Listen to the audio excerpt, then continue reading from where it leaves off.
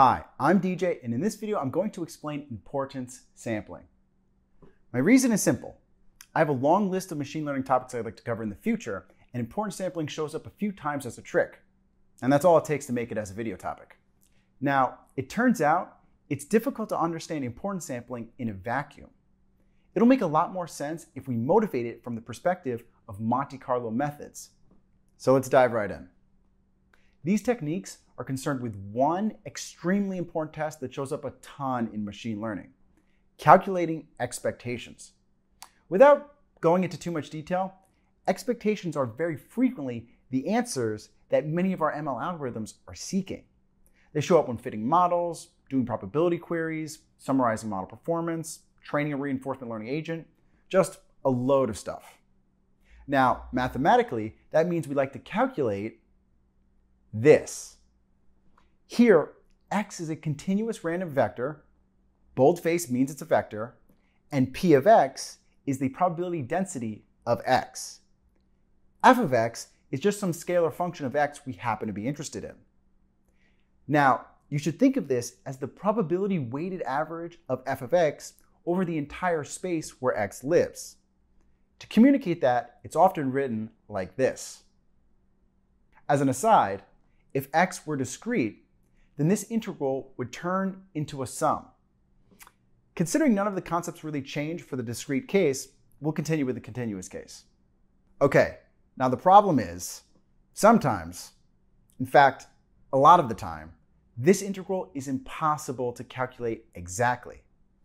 Typically, it's because the dimension of x is high, so the space it lives within is exponentially huge.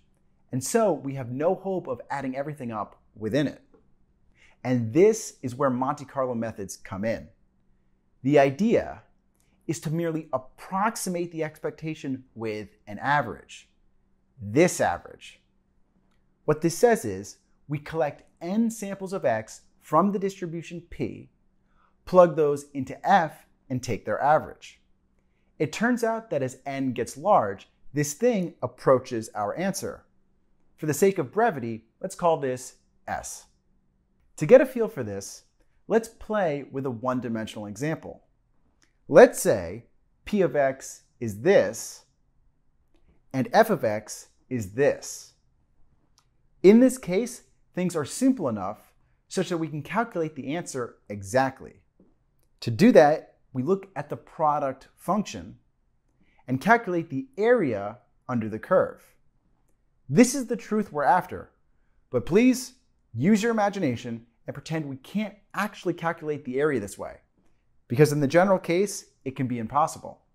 So instead, let's approximate this area using Monte Carlo.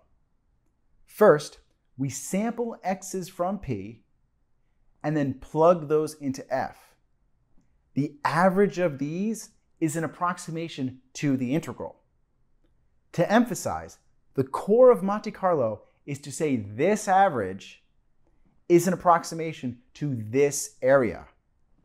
I'm not proving that, but trust me, it's true and very important. Frankly, it's more important than importance sampling.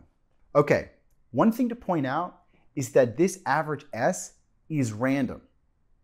If I were to resample everything, I'd get a new S. And I could keep doing this. This means that our sample average has its own distribution. In fact, let's check that out.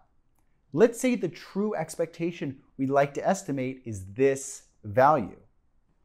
Also, let's say we repeat our estimate many times, giving us many S's. Now, we're in a better position to view the distribution of S. Now, to avoid confusion, this distribution is just useful for a theoretical understanding. In applications, we only get one sample of S. Keep that in mind as I talk about this thing. Okay, the first thing to notice here is the distribution is centered on the true expectation we're after. This is a critical property. When we have it, we say our estimate is unbiased. Also, looking at this, we can see that the variance of S, something which tells you about the width of this distribution, matters a lot. It gives us a sense of how off a single estimate is likely to be from the truth. Now it turns out the variance of S is the variance of f of x scaled down by n. Okay, one other thing. Notice this distribution is a normal distribution. Where did that come from? Well, that's the central limit theorem. It's a magical and super famous result. And in this case, it says it doesn't matter what P or F are. No matter what, as n gets large, this will get closer and closer to a normal distribution. In fact, we can summarize this by writing this. To repeat myself a bit, this says S's distribution approaches the normal as n gets large. The mean of that normal is the expectation we're trying to calculate. And its variance is the variance of f of x scaled down by n. Please take a second and absorb all that. Done? Excellent. You're now ready to learn about importance sampling. We start by introducing a new distribution, q of x. As we'll see, this is something we get to choose.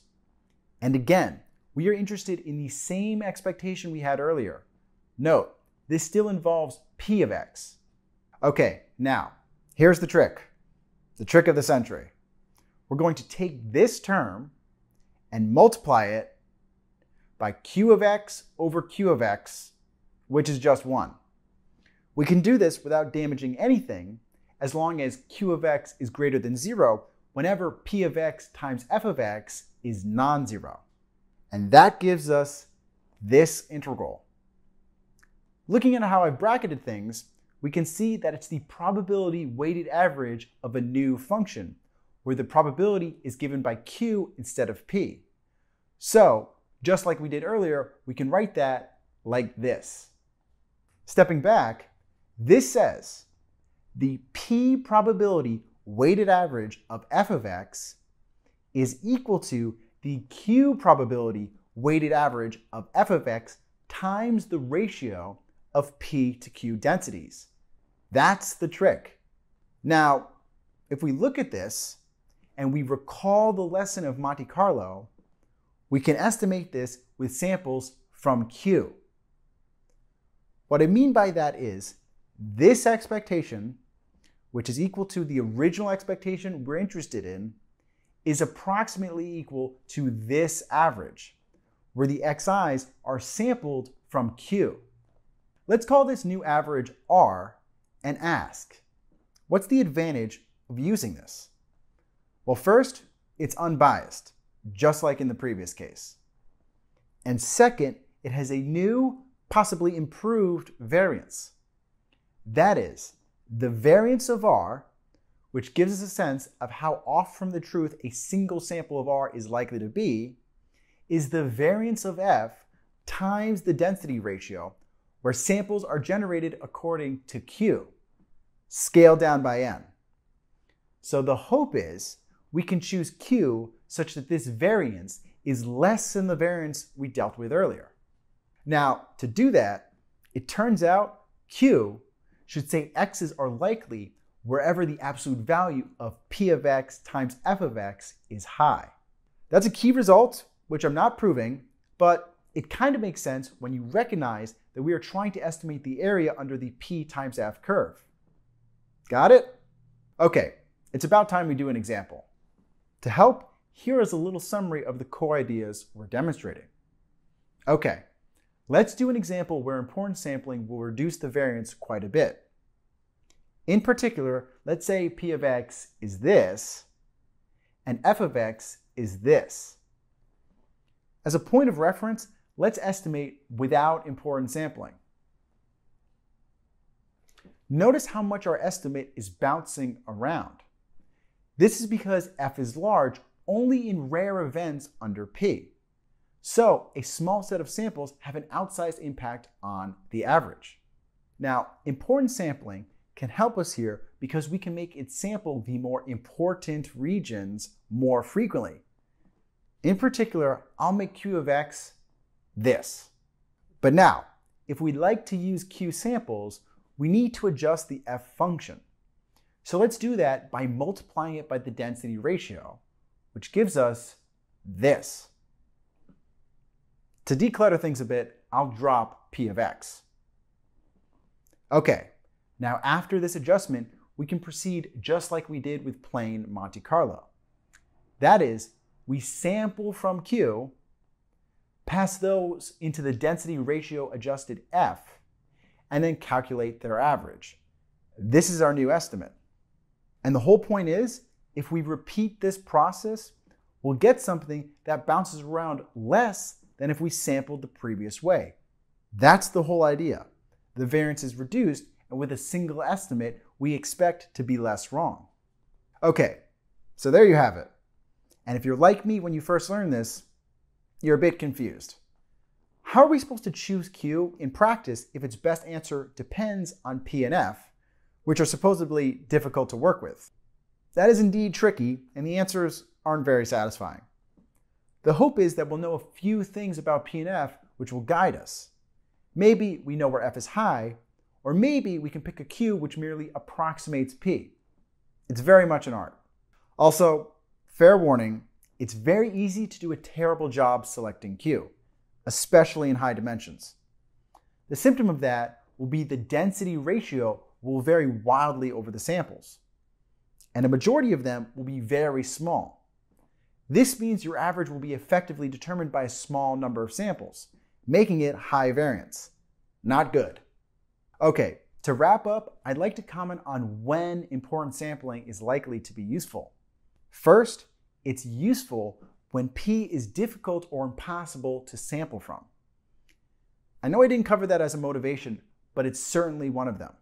Second, we need to be able to evaluate P of x, meaning we can plug in an x and get a value.